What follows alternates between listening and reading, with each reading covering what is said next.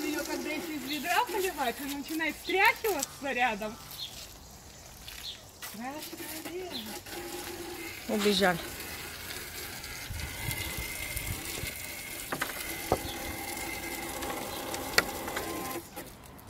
Не хочет.